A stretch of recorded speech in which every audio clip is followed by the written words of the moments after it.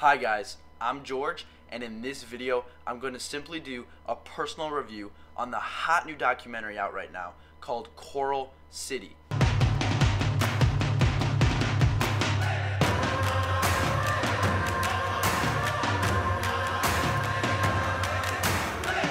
It is made by a hip video studio slash blog company called The Creators Project, but it's the story of how two men Colin Foord and Jared McKay of a company called Coral Morphologic Aquaculture Coral create artwork through their stunning videos and pictures while also trying to protect the native reefs in Miami from dredging.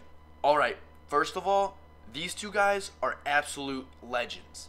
I have mad respect for two men who can pull off these crazy hairstyles, wear artsy clothing, live in Miami, aquaculture the sickest coral I've ever seen, then take absolutely stunning photos, short films, and music videos of their corals, sell it as actual artwork for money, do a TED Talk, fight the government to protect reefs in Miami, and then best of all, get a documentary made on them with Julian Sprung in it.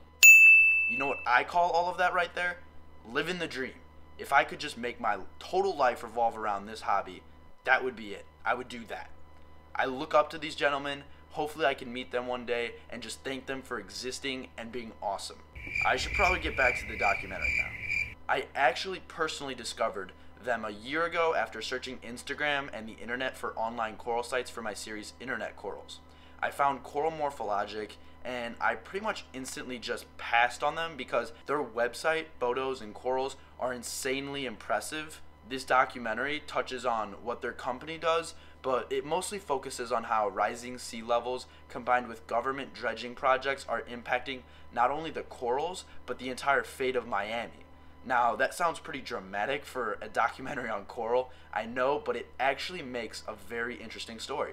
I ran into a hobbyist the other day and I asked him if he had seen Coral City, expecting him to be like, of course. But he actually hadn't seen it, and that made me really, really surprised. If a hobbyist hasn't seen this documentary, then something is definitely wrong. I decided to make this video to tell all of my subscribers to go watch it right now.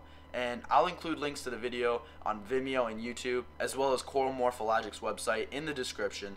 It's definitely worth a look. Their story is incredible, and I highly recommend you go check it out ASAP.